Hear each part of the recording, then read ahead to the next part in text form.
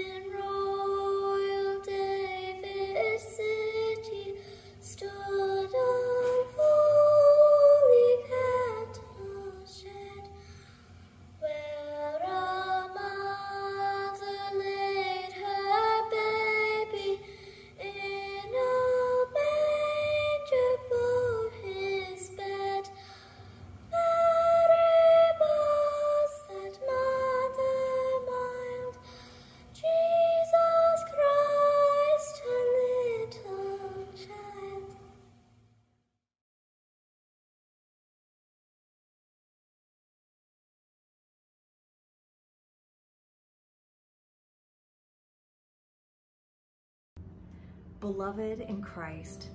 In this Christmas tide, let it be our care and delight to hear again the message of the angels, and in heart and mind to go even unto Bethlehem, and see this thing which has come to pass, and the babe lying in a manger. Let us read and mark in Holy Scriptures the tale of the loving purposes of God from the first days of our disobedience unto the glorious redemption brought to us by this Holy Child. And let us make ourselves glad with our carols of praise. But first, let us pray for the needs of his whole world, for peace and goodwill over all the earth, for the mission and unity within the church he came to build. And let us at this time remember in his name the poor and the helpless, the cold, the hungry and the oppressed, the sick in body and in mind, and them that mourn, the lonely and the unloved, the aged and the little children, and all who know not the loving kindness of God. Lastly, let us remember before God all those who rejoice with us, but upon another shore, and in a greater light that multitude which no human can number, whose hope was in the Word made flesh, and with whom in this Lord Jesus we forevermore are one. These prayers and praises let us humbly offer up to the throne of heaven in the words which Christ himself hath taught us. Our Father, Our Father, who art, who in, art heaven, in heaven, hallowed, hallowed be thy name. name. Thy Thy kingdom kingdom come, thy thy will be will be done, done, on earth earth as it is in heaven. Give us, Give us this day our daily bread, bread, And forgive us our trespasses. We forgive those who trespass against us. And lead us not into temptation, but deliver us deliver Deliver us us from evil. For thine is the kingdom, the power, and the glory, forever and ever. Amen. Amen. Amen. The Almighty God blesses us with this grace. Christ gives us the joy of everlasting life, and unto the fellowship of the citizens above, may the King of angels bring us all. Amen.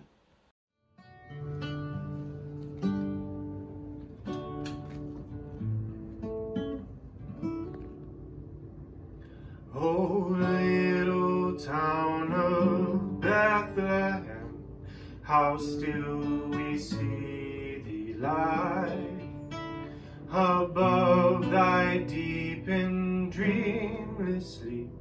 The silent stars go by,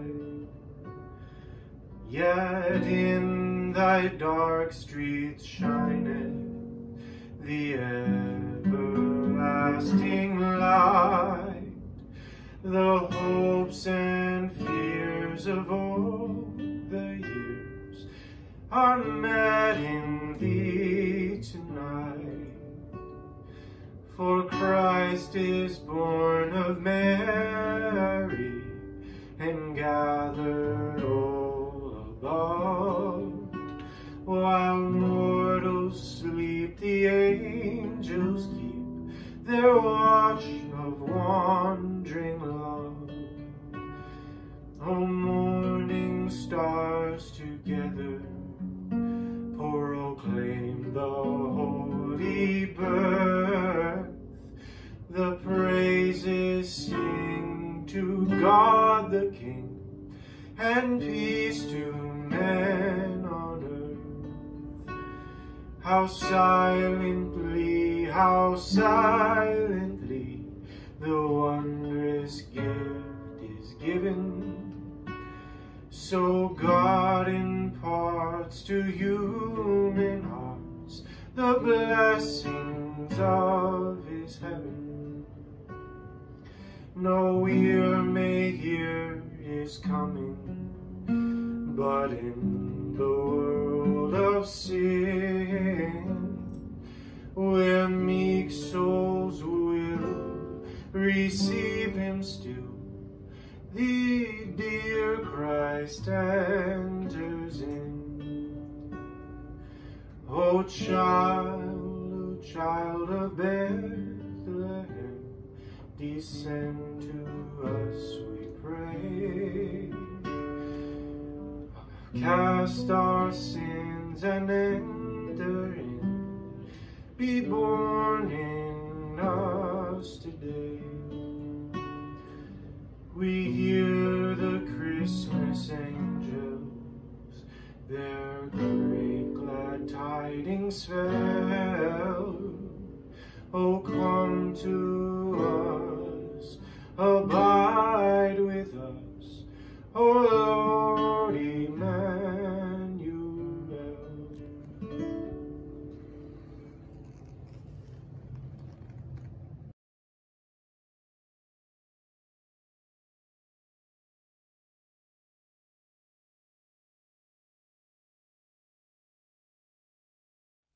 man and his wife heard the sound of the Lord God walking in the garden at the time of the evening breeze, and they hid and they hid themselves from the presence of the Lord God among the trees of the garden. But the Lord God called to the man and said to him, Where are you? He said, I heard the sound of you in the garden, and I was afraid because I was naked, and I hid myself. He said, Who told you that you were naked? Have you eaten from the tree of which I have commanded you not to eat? The man said, The woman whom you gave to be with me, she gave me fruit from the tree, and I ate. Then the Lord God said to the woman, What is this that you have done? The woman said, The serpent tricked me, and I ate. The Lord God said to the serpent, Because you have done this, cursed are you among all animals and among all wild creatures. Upon your belly you shall go, and dust you shall eat all the days of your life. I will put enmity between you and the woman and between your offspring and hers. He will strike your head, and you will strike his heel. And to the man he said, Because you have listened to the voice of your wife, and have eaten of the tree of which about which I have commanded you, you shall not eat of it.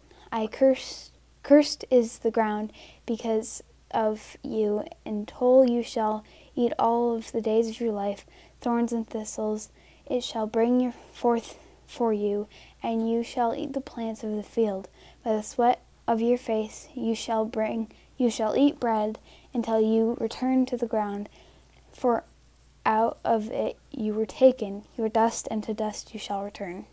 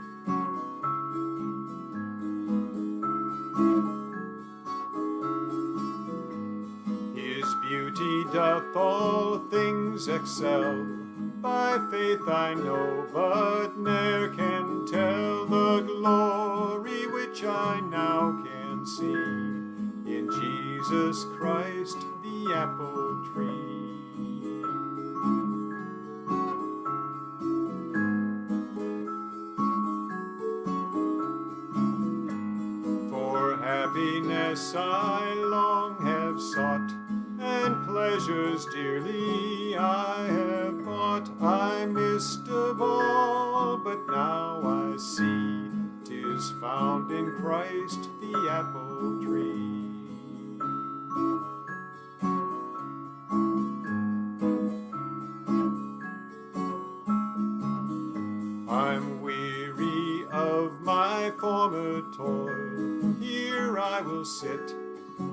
Rest a while under the shadow I will be of Jesus Christ, the apple tree.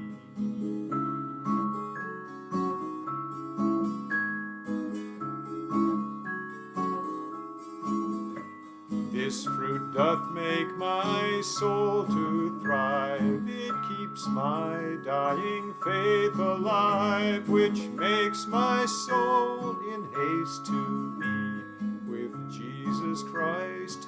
apple tree.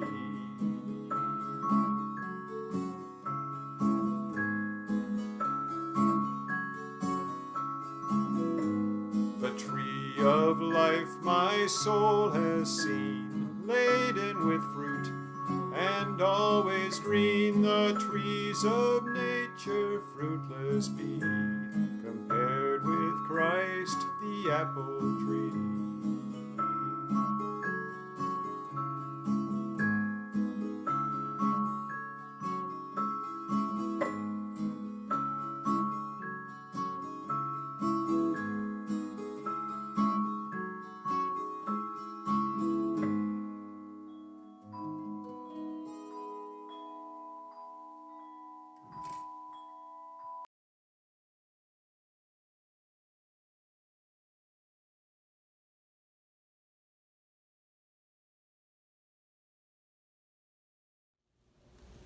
The angel of the Lord called to Abraham a second time from heaven, and said by myself, I have sworn, says the Lord, because you have done this and will and have not withheld your son, your only son, I will indeed bless you, and I will make your offspring as numerous as the stars of heaven, and as the same as the sand that is on the seashore, and your offspring shall possess the gate of their enemies, and by your offspring shall all the nations of the earth gain blessing for themselves, because you have obeyed my voice. Thanks be to God.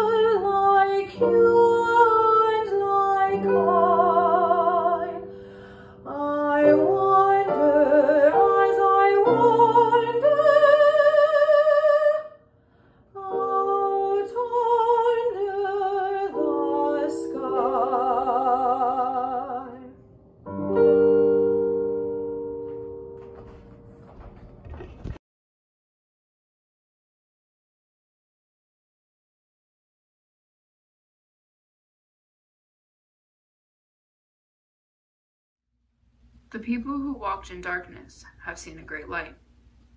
Those who lived in a land of deep darkness, on them light has shined. For a child has been born for us, a son given to us. Authority rests upon his shoulders, and he is named Wonderful Counselor, Mighty God, Everlasting Father, Prince of Peace. His authority shall grow continually, and there shall be endless peace for the throne of David and his kingdom. He will establish and uphold it with justice and righteousness from this time onward and forevermore. The zeal of the Lord of hosts will do this. Thanks be to God.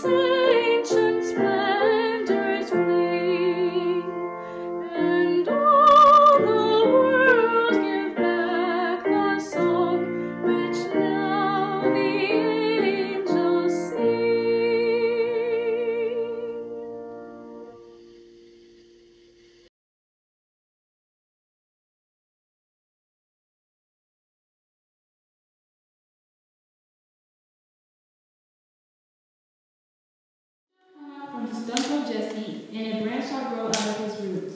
The Spirit of the Lord shall rest on him, the Spirit of wisdom and understanding, the Spirit of counsel and might, the Spirit of knowledge and the fear of the Lord. His delight shall be in the fear of the Lord. With righteousness he shall judge the poor, and he decide with equity for the meek of the earth. The wolf shall live with the lamb, the leopard shall lie down with the kid, and the calf and the lion and the fatling together. And a little child shall lead them. The cow and the bear shall graze, their young shall lie down together, and the lion shall eat straw like the ox. The nursing child shall play over the hole of the ass, and the weaned child shall put his hand on the adder's den. They will not hurt or destroy on all my holy mountain, for the earth will be full of the knowledge of the Lord, and as the waters cover the sea.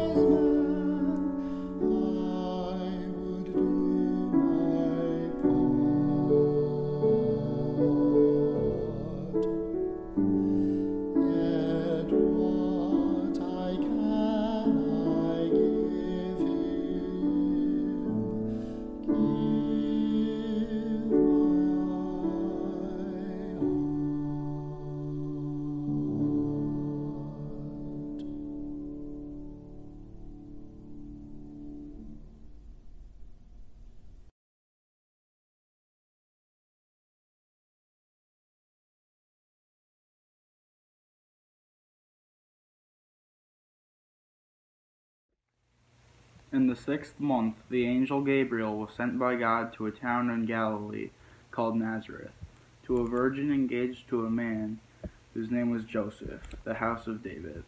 The virgin's name was Mary. And he came to her and said, Greetings, favored one, the Lord is with you. But she was much perplexed by his words, and pondered what sort of greeting this might be. The angel said to her, Do not be afraid, Mary, for those you have found favor with God. And now you will conceive in your womb and bear a son, and you will name him Jesus. He will be great, and he will become the Son of the Most High. And the Lord God will give you, will give to him the throne of his ancestor David. He will reign over the house of Jacob forever, and his kingdom there will not will no end. Mary said to the angel, How can this be, since I am a virgin? The angel said to her, The Holy Spirit will come upon you, and the power of the Most High will overshadow you. Therefore the child to be born will be holy. He will become he will be called the Son of God. Then Mary said, Here I am, the servant of the Lord. Let it be with me according to your word. Then the angel departed from her.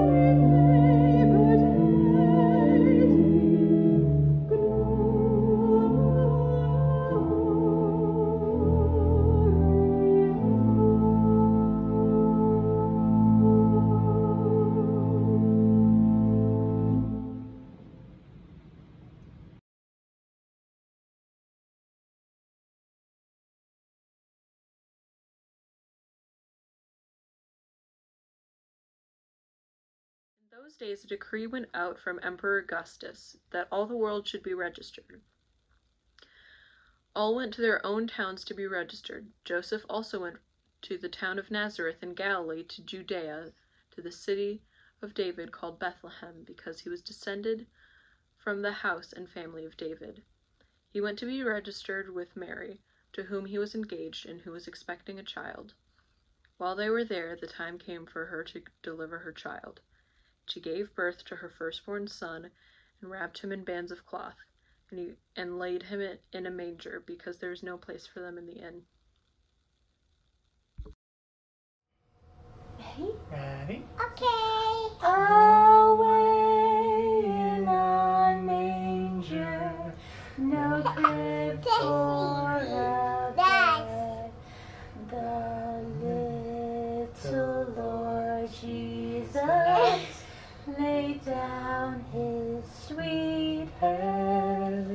The stars in the night sky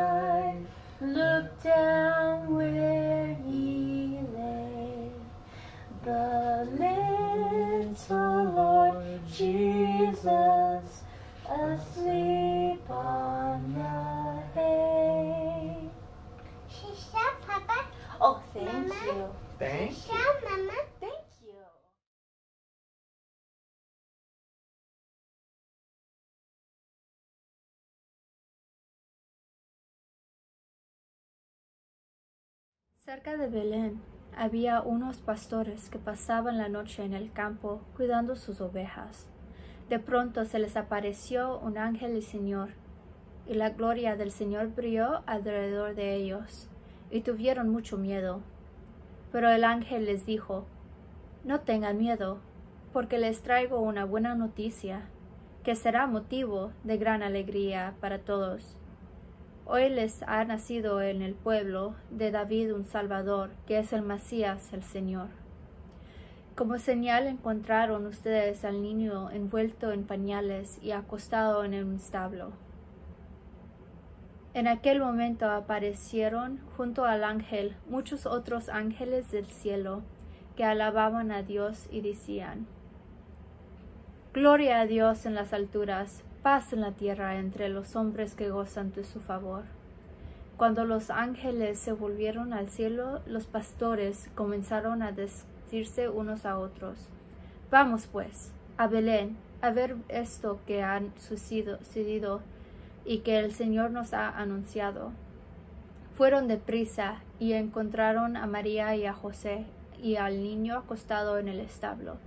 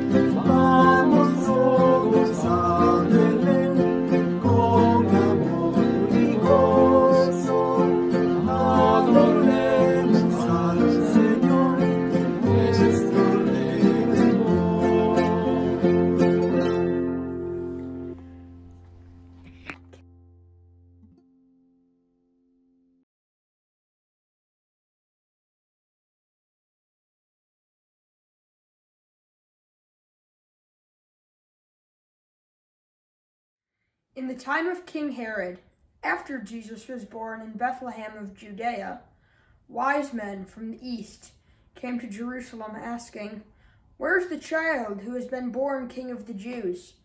For we observed his star at its rising and have come to pay him homage. When King Herod heard this, he was frightened, and all Jerusalem with him.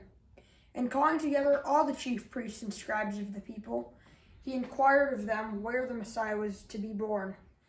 They told him, In Bethlehem of Judea, for so it has been written by the prophet. And you, Bethlehem, in the land of Judah, are by no means the least among the rulers of Judah. For from you shall come a ruler who is to shepherd my people Israel. Then Herod secretly called for the wise men and learned from them the exact time when the star had appeared. Then he sent them to Bethlehem, saying, Go and search diligently for the child. When you have found him, bring me word, so that I may go and also pay him homage. When they had heard the king, they set out, and there, ahead of them, went the star that they had seen at its rising, until it stopped over the place where the child was. When they saw that the star had stopped, they were overwhelmed with joy. On entering the house, they saw the child with Mary his mother, and they knelt down and paid him homage. Then, opening their treasure chests, they offered him gifts of gold, frankincense, and myrrh. And having been warned in a dream not to return to Herod, they left for their own country by another road.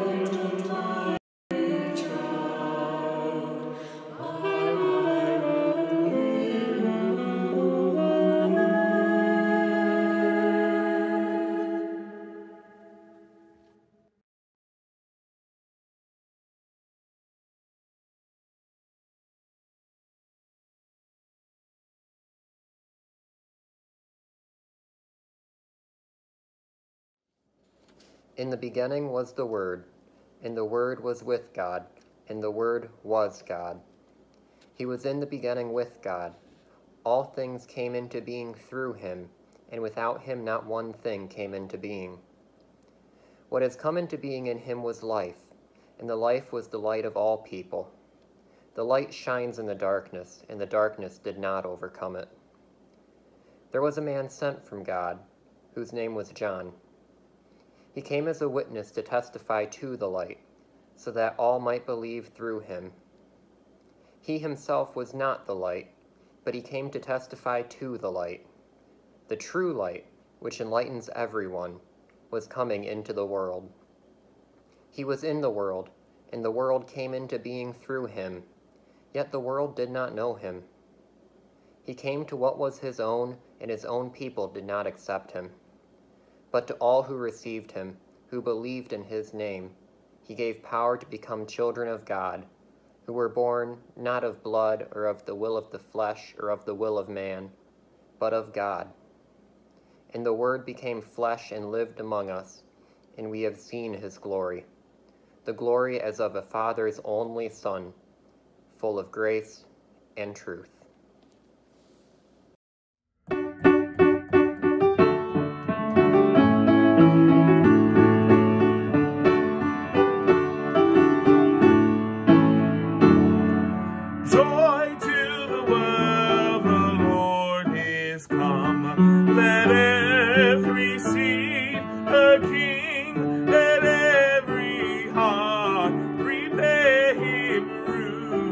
And heaven and nature sing, and heaven and nature sing, and heaven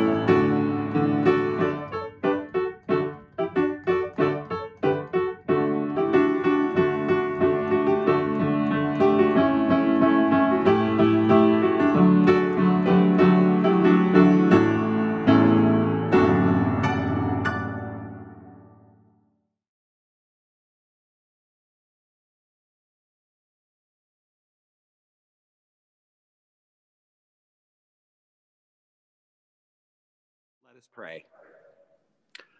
O God, who makest us glad with the yearly remembrance of the birth of thy only Son, Jesus Christ, grant that as we joyfully receive him for our Redeemer, so we may with sure confidence behold him when he shall come to be our judge, who liveth and reigneth with thee and the Holy Spirit, one God, world without end.